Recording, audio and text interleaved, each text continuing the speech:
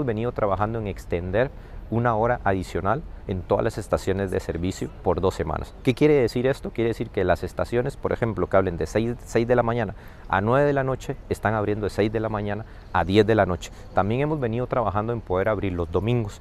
Hemos visto que los domingos de 8 de la mañana a mediodía sí se presentan bastantes personas a hacer la inspección vehicular con su debida cita, pero después del mediodía, una de la tarde, las personas pues ya no llegan a hacer mucho la inspección vehicular. Entonces estamos tratando de colocar la mayor cantidad de recursos posibles para de 8 de la mañana a 1 de la tarde lleguen las personas a hacer su inspección vehicular. Adicionalmente a esto, lastimosamente hemos visto que tenemos casi más de un 30% no show. ¿Qué quiere decir esto? Que hay personas que sacan su cita de inspección vehicular y no se presentan, por lo cual invitamos a las personas a que si tienen que cancelar la cita o modificar la cita, háganlo para que dejen el espacio libre, para que por favor las personas que sí necesitan hacer la inspección vehicular tengan ese espacio libre.